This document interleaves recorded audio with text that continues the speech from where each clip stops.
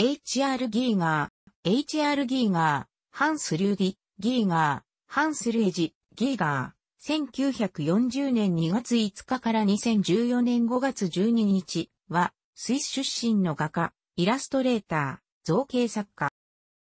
ベース F 映画、エイリアンのクリーチャーデザイナーとして知られ、その他幅広い分野で作品を提供するなど、同国を代表する芸術家として名を馳せた。第52回アカデミー賞視覚効果賞受賞。スイスのクールで誕生。その後に、チューリッヒで建築とインダストリアルデザインを学んだ。レコード及び CD のカバーアートの制作や映画、エイリアンでの造形デザインで知られている。2013年秋に階段から転落し、療養中の2014年5月12日に病院で死去した。死後は HR ギーガーミュージアムを管理する財団が作品の権利を引き継ぎ、ドキュメンタリー映画ダークスター HR ギーガーの世界などが制作された。日本では生前に自身のギガー S フィルムデザイン展を希望していたが、2017年に同映画の公開やアート展などが開かれる形で実現した。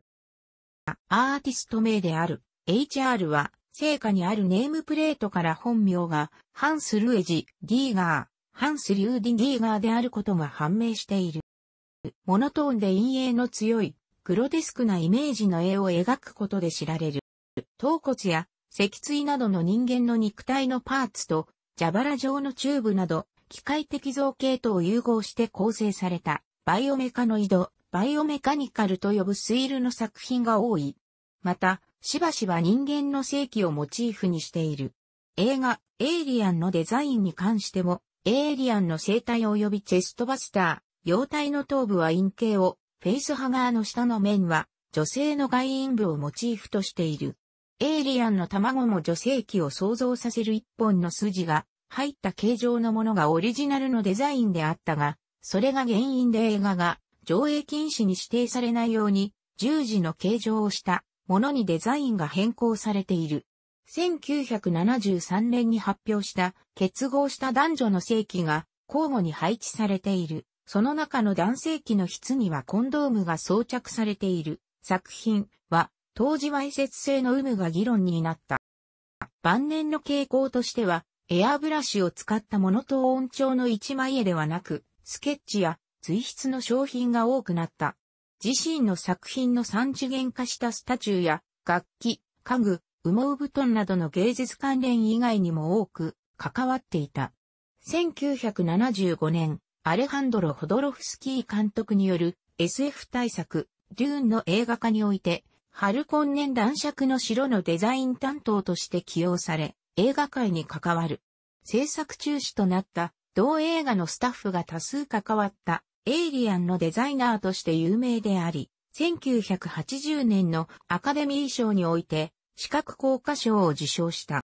映画のデザインでは他にも、スピーシーズ種の起源、キラーコンドーム、テート物語などを手掛けている。ロックでは1973年11月にリリースされたエマーソン・レイクパーマーの恐怖の頭脳改革でアルバムカバーアートの原画を担当した。このアルバムがエルプの本国イギリス、アメリカ、そして日本など世界的にヒットしたため、エイリアンで知名度が上がる以前から注目されていた。フランスのバンドであるマグマのアルバム、アタクのジャケットでも知られており、ギーガー自身もマグマの音楽性を高く評価している。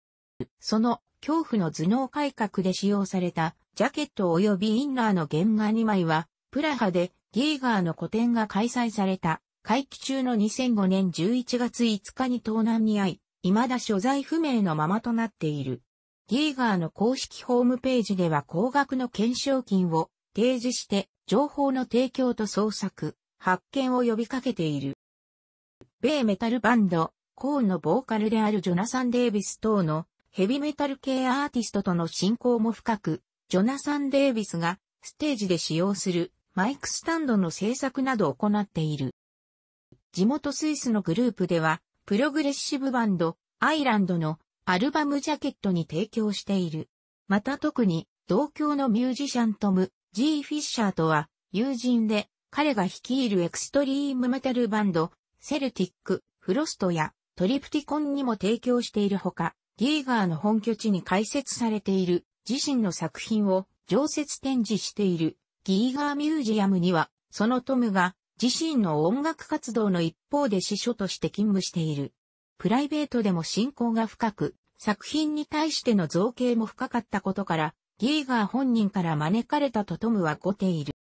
1988年に PC エンジン向けに発売されたハドソン、ザ・聖剣レクロマンサーでは、パッケージ等に剣を加えている骸骨のイラストが使用されている。ただし、本作のための描き下ろしではなく、先に発表された画集、スペル3に収録のイラストをパッケージ用として許諾を受け使用したものである。なお、使用されているのは PC エンジン版のみである。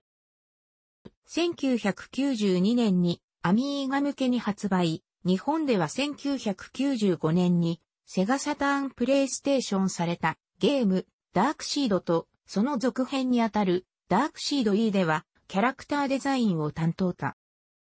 1980年代後半の東京、白金にギーガーが内装をデザインした飲食店ギーガーズバーギガー S バーが存在した。ハイドの初ソロアルバム、ヒデユアフェイスでのジャケットに仮面のオブジェを提供している。星野楽器ブランド、アイバニーズから発売されていたエレキギターとベースにギーガーのデザインをペイントした商品が限定で発売されていた。日本のプロップレプリカ専業メーカー、ハリウッドコレクターズギャラリーの依頼でスケールダウンされたギガー、S エイリアン、 Giger's Back Scratcher、孫の手、また同じくスケールダウンされたハルコンネンファニチャー他が限定販売された。また、同社の企画立案により、メディコムトイ社のベアブリックのデザインも手掛けている。サルバドール・ダリは、彼には才能があると評価しており、後にエイリアンを手掛けるダン・オバノンの関わる映画と引き合わせている。日本で刊行されたもの、タイはデザイン、アルファベット順、楽しくご覧になりましたら、購読と良いです。クリックしてください。